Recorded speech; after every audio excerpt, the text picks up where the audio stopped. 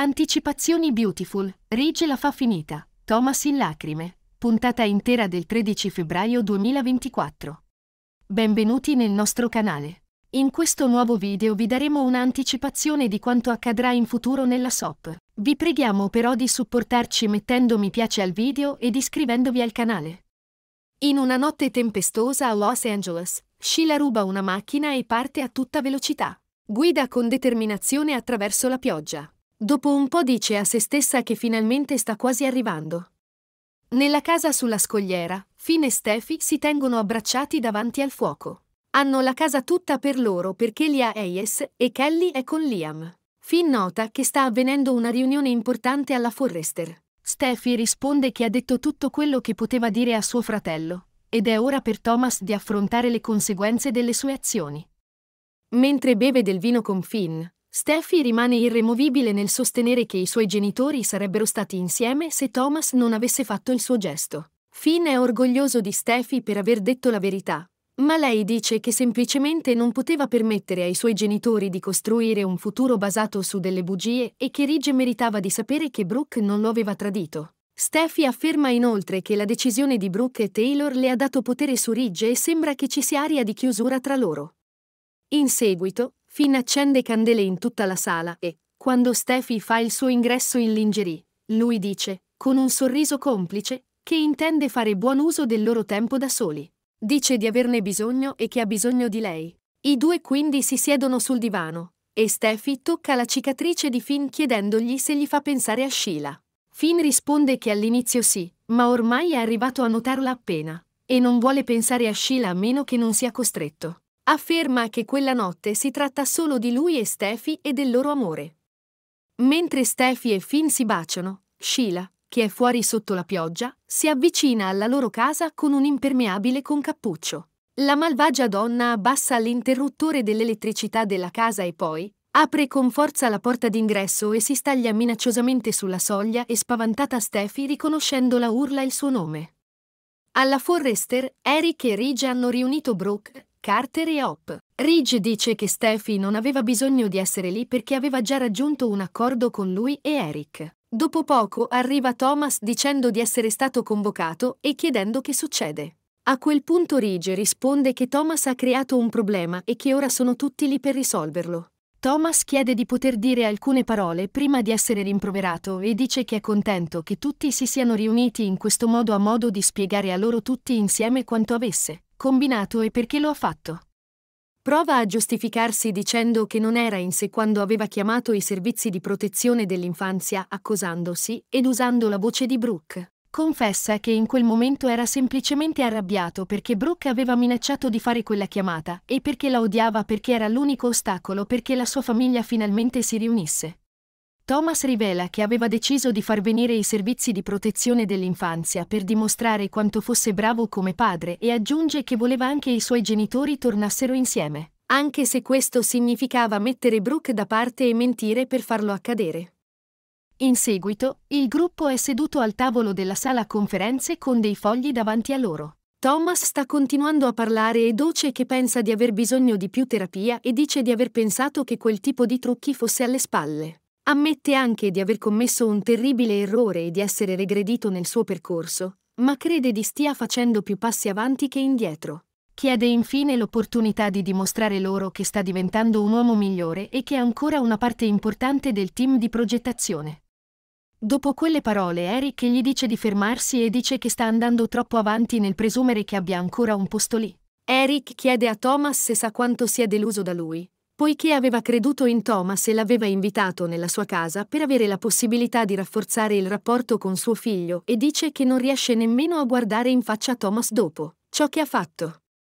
Thomas afferma che può ancora rimediare, ma Eric lo interrompe subito dicendo che è impossibile e aggiungendo che è Brooke a cui Thomas deve chiedere scusa. A quel punto la donna interviene e dice che Thomas ha reso abbondantemente chiaro come si sentisse nei suoi confronti.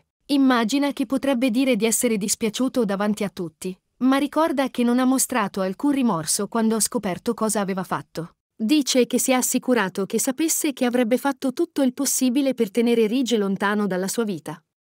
Brooke afferma di non aver voluto le cose in quel modo e, Per Ridge ha cercato di avere una relazione con Thomas e mostrare, nonostante tutto, amore e sostegno. Brooke conclude che a Thomas non importa dei suoi sentimenti né del loro matrimonio, e che Thomas non ha rispetto. Thomas a testa china dice che concorda con lei e sa di non aver rispettato il suo matrimonio e anche è dispiaciuto per aver mentito e aver ferito i suoi sentimenti e quelli di Ridge. Brooke gli chiede quante volte possa dirlo. Lo aveva già detto a lei, a Hop e a Douglas. Gli chiede se è convinto che continueranno a credergli per sempre. Thomas risponde che voleva la sua famiglia insieme, ma Brooke risponde che non c'è modo di giustificarlo e che nessuna scusa è ormai accettabile e che questa è la resa dei conti.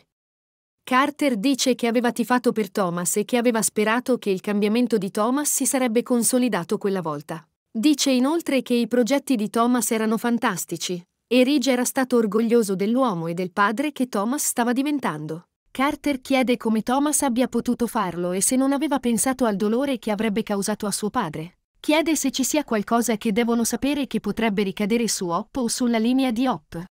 Thomas chiede perché dovrebbe aver fatto qualcosa per mettere in pericolo la linea su cui aveva lavorato duramente e aggiunge che Carter sa quanto gli stia a cuore Hop. Thomas chiede poi perché dovrebbe fare qualcosa per ferire Hop o suo figlio.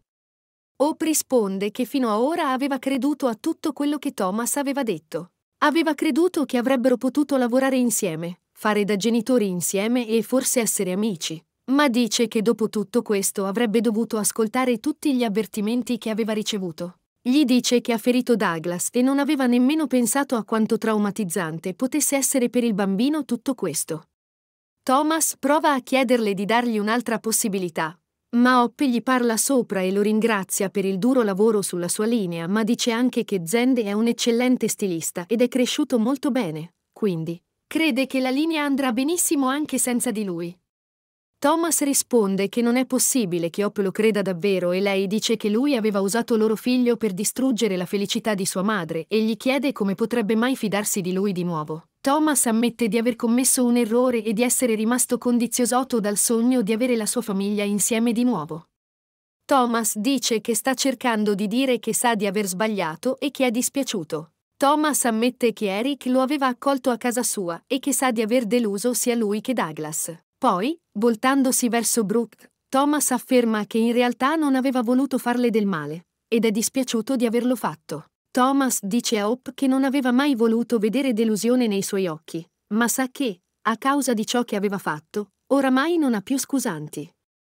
Thomas dice a Ridge che le sue azioni non erano state accettabili. Thomas crede di poter andare avanti, imparare e crescere se Ridge gli darà una possibilità. Ridge, quasi ridendo, si chiede cosa stia chiedendo Thomas e cosa stia cercando di ottenere. Ridge afferma che è stato accanto a Thomas quando nessun altro lo era, che si è incolpato per non essere stato lì quando Thomas era un bambino, che però Thomas lo aveva preso in giro. Thomas risponde che non era stata sua intenzione, ma Ridge urlando gli dice che le intenzioni non contano, che contano le azioni. Ridge si chiede se Thomas potrà mai cambiare o se sia semplicemente fatto così. Ridge afferma che Thomas sta costringendo Ridge ad agire per la famiglia e per l'azienda. Thomas chiede a Ridge di non farlo, ma Ridge dice che tutti sono d'accordo, compresa Steffi, e che i suoi giorni alla Forrester Creation sono finiti. Ridge apre la porta dell'ufficio, gli altri si alzano dalle sedie ed escono dall'ufficio in modo solenne. Thomas li guarda andare via e Ridge a malapena guarda Thomas mentre chiude la porta alle spalle, lasciandolo da solo in ufficio.